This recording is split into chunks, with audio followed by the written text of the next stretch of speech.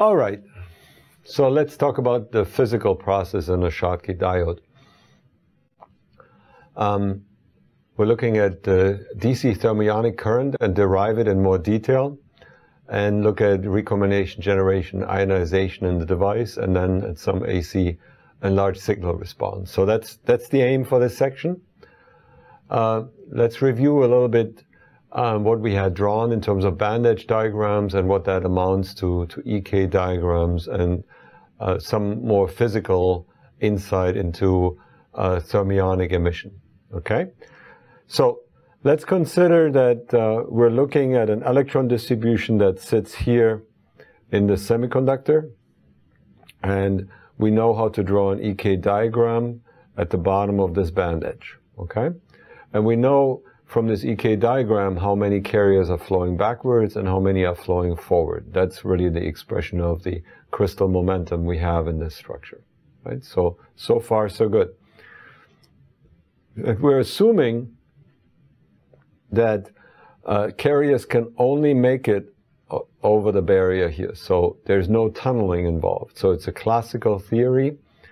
And we can calculate a distribution of carriers. So we have a Fermi function. In this case, we're going to use a Boltzmann distribution that decays exponentially. And we have a density of states that rises as a square root of uh, uh, E. We've calculated that before. And so you have sort of a peaked function like this, okay? And only the electrons that are above this barrier uh, tip can make it through through thermionic emission, okay? Similar is true on the on the metal side. On the metal side, we have a similar picture, except the density of states is much larger as we discussed. And also here, we assume that only the carriers that are above this this barrier here can make it through to the n side. Okay? Now, here's this larger integral, right? We're going to look at the electron flow from the semiconductor to the metal. So we're going in this direction. That's the electron flow, negative sign here. And we are trying to integrate over this three-dimensional EK diagram. So that'll get us all the states and we're interested in the momentum distribution that travels in this direction. Okay? So we're interested in the moment of the distribution that has a, a component of the velocity in the x direction. And we'll find that in the distribution of kx, and we're keeping the kx, uh, the ky and the kz as a completeness because this is part of the three-dimensional density of states. Now, we're inter, uh, interested in the carriers uh, that um, in all of the carriers in the uh, y direction, in all of the carriers in the z direction, and in the carriers that uh, have at least a minimum k available. Okay? So, um, here's the density of states in the structure that is uh, uh, indicated here, and we're integrating this density of states, and we have the occupation of this density of states as indicated here with E minus EF. All right, so we're thinking of a constant energy surface, and we're wanting to migrate up in energy, but we still have an EK um, an integration over k. And we're only interested in the carriers uh, in this direction. All right, this k min corresponds to a, um, a, a mi minimum velocity that the carriers must have. And I think this should actually be minus k min here and infinity up there. So this is actually an error here in this slide. Okay. So we're integrating from a k-min all the way up here. Okay? So again, I think this should be minus, uh, plus k-min, k-min to infinity. Okay? So, now we're expanding out uh, this energy difference here of the electron against the conduction band and then measure it also against the Fermi level. Okay? So, because the Fermi level is something nice we can we can comprehend as an energy uh, balance well into the depth of the semiconductor. So, we're expressing. We have an expression up here for the carrier distribution against the Fermi function, but we like to distinguish that between the energy um, that is kinetic and the energy that is a potential energy as measured from EC to EF. Okay? So again, we have kinetic contribution and a um, static uh, a potential energy. All right. So now we can, in this integral, we can plug this in here. This goes in here. And we are we can pull this term here ultimately out of the exponent, okay?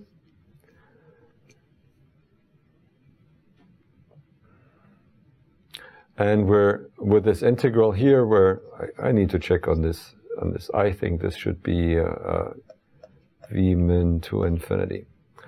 All right, and we, we now have the uh, we're transforming uh, the ek into velocities. So um, m uh, m star v is uh, going into uh, the momentum distribution, and we have in the exponent our kinetic components of the carriers. Okay, all right. So now we have uh, three integrals that we can carry out because uh, the exponent splits into three parts, so we can factor the, the integral. Okay? So let's um, carry this through. And we have, the, we have these three integrals. Now these are integrals over Gaussian that have a nice constant value.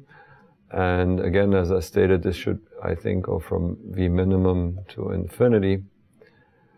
Um, you can carry out this integral here, and you end up with a minimum, uh, with a minimum velocity that you have to have. It's the um, energy measured to the top of the barrier, which is VBI minus VA um, in terms of effective mass. And you can integrate this out and you should get this term here. Okay, I'm going to check later if that's indeed, if I have the, the limits correct. Okay, that means now we have some expression here that has uh, VBI and VA in it. I can fold in my EF minus EC, that is this guy here, and here. And I find that I have some expression as a function of um, applied voltage with some coefficient up front, okay?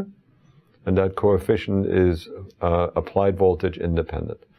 And I've stuck a lot of information um, of the device in there, effective masses, density of states, etc. All right, now this is the uh, semiconductor to metal current uh, as a function of applied bias. And I had already calculated that uh, the uh, total current is this semiconductor to metal and the metal to semiconductor. And we had expressed um, this one here as a function of semiconductor to metal, and therefore we came to our diode expression like this. So this looks very familiar uh, uh, now, it's just derived in a slightly different way. Okay. Now, um, some insight on this thermionic current. If I compare this Schottky diode to the PN diode, the um, term for the applied bias um, is the same. It's the exponent with the applied bias. I have a coefficient up front that depends on the details of the junction. Now, both depend exponentially on VA, but uh, what you'll see is that the PN diode depend more strongly on temperature, since Ni depends strongly on the band gap and on temperature. Versus the Schottky diode doesn't have that. Okay, the Schottky diode is a majority carrier device. You dope it, it's less dependent on Ni. But the band gap of the semiconductor still shows up in here, and it hides in the built-in potential, because that is how we shift up and down the potential on the N side. And it's also hidden in the uh, uh, effective mass in the semiconductor. So, and the doping is of course included in EF minus EC, okay?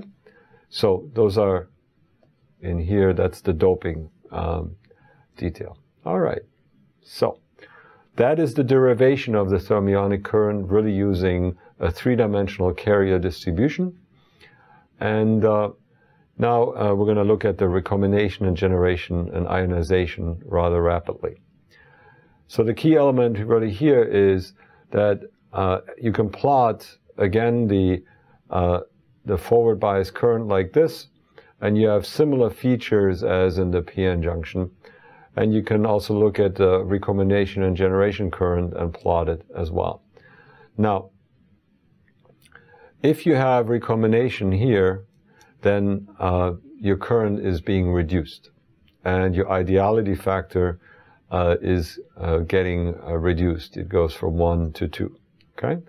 So the slope is changing just like in the other uh, PN diode. Okay? Now in the reverse bias, we have, can have similar effects. We can have, again, recombination as reverse bias. And if you have recombination here of carriers, then you, um, what you really have in the reverse bias, you generate carriers, so you have electrons hop up here, and that adds current to the device, and you get the square root of a voltage dependent again in the reverse bias direction. Again, again, a slope that goes with the square root of the voltage is showing up again. And of course, you can have the same type of breakdown behavior as well. So this, the majority of the majority carriers is being rejected, but there could be Zener uh, tunneling. And any additional tunneling that can happen can also kick off uh, impact ionization. So you can have the same type of breakdown as what you had in the PN junction. So in that sense, the two are not all that different.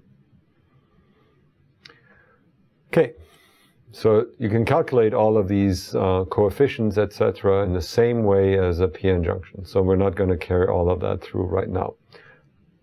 Reminder, you can have the same correction M in there. You can have the same series resistance due to Fermi level drops here in the semiconductor, right? On the metal side, we won't have a Fermi level drop. So the series resistance here is primarily in the semiconductor. But of course, if you really, really have a long metal, again, you can have series resistance as well, and that'll show up as well. Okay. Now, let's go from the recombination generation into the AC and large signal response and look at uh, the devices in this way. All right. So this is similar to what we had before, but now we have a metal contact here and just uh, the semiconductor, the n-doped semiconductor. Okay, and we had already thrown out pretty much any sort of details here um, that are happening in the in the metal. Okay, but now we can carry through the whole um, calculations we had done before. But one thing to keep in mind is that these are responses here from the majority carriers. Okay? This is a majority carrier device. In the forward and the bi uh, reverse bias direction, we, we don't have minority carriers that we need to be considering. So really, the diffusion capacitance is uh, not something we need to consider here. All right. Um, as mentioned before, it, the M depends on where you are in the IV characteristic. If you have Fermi level drops, uh, if you have um, uh, the, the next disturbing item uh, on the uh, last forward uh, bias regime, um, the second one, and uh, you can differentiate this expression just like what we did with a PN junction. All right?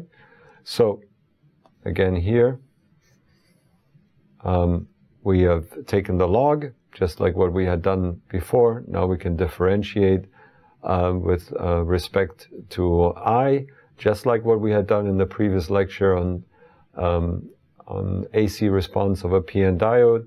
And we have the same forward uh, bias conductance uh, GFB. Okay, same expression against same uh, current dependence. Okay, it's really a one-sided PN diode, so these expressions are going to be uh, the same, except we don't have the diffusion capacitance. Now, what's the response time? Again, similar to what we discussed before. Really, the only thing happening here is majority carriers being exchanged with a very large number of electrons that are available on the semiconductor side. So it's a majority carrier device. It's responding within the dielectric time constants of the system. All right.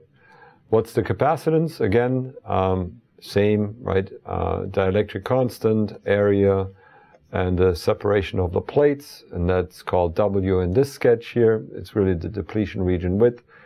We can calculate the width. We had expressions for that earlier in this section. We plug it in, and we see again that the junction capacitance is inversely proportional to the voltage that is being applied. Again, there's no diffusion capacitance. Why is that?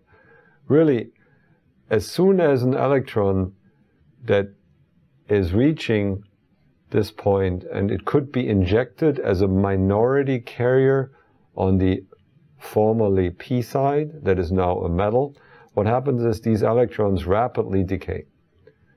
So they, they don't have to diffuse through, they don't contribute to another charge dipole on the other side that is sluggish in its response. So the assumption is that as soon as an electron makes it over, it never becomes a minority carrier. It gets destroyed right away and contributes uh, to the current. It's kind of like having an infinitely short relaxation time on the on the p side. All right. So that's what I'm sketching here on the PN diode. Whatever electrons you might have injected here on the P side, they slowly decay, so to speak, and there's a diffusion process. And if you wiggled uh, the structure, that uh, AC response is going to be dependent on the diffusion time. But here, there are no minority carriers, okay? Therefore, there's no diffusion capacitance. Now, um, that is again a reminder, if you want to reduce the, uh, the response time, the AC response time of a normal PN diode, you can introduce more scattering centers and therefore uh, have these electrons here decay rather rapidly. So scattering can be a good thing by adding traps if you really want to have a really fast uh, uh, PN diode in AC response. So this might be important for analog type devices. Okay? So the short minority carrier lifetime in PN junction diode is equivalent to the rapid energy relaxation in a Schottky barrier diode. All right, that means uh, in uh, large signals, it's all a rapid uh, carrier response. You don't have this issue with storage time and relaxation time. Response is instantaneous. So all you need is the uh, series resistance, series con uh, the conductance and the junction capacitance, and off you go uh, with your large signal responses as well. So that gets me into the next section on practical issues on ohmic contacts, Schottky barrier lowering, and Fermi level pinning. I'll see you in the next section then.